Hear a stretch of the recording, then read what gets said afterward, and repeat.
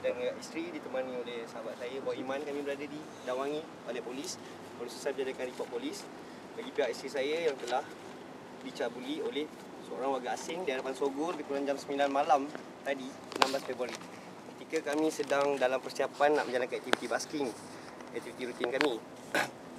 Dan hal ini sedia maklum telah pun telah pun hampir semua rakyat Malaysia tahu. Mungkinlah eh.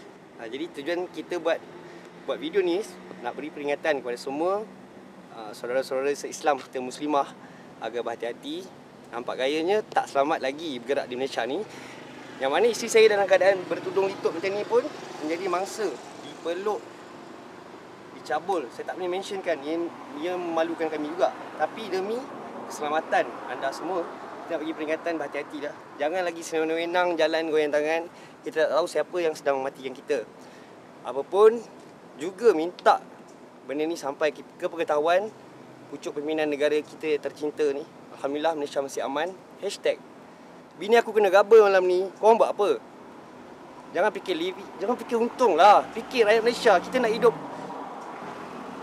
Bapak-bapak menteri sekalian, anak-anak korang mungkin ada bodyguard.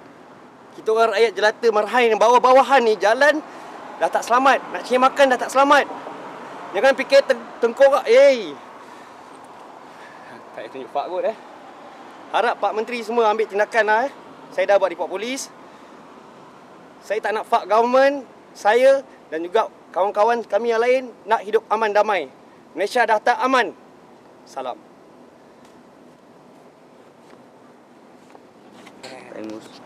Sabar sabar benda boleh bincang. Nanti CJI masuk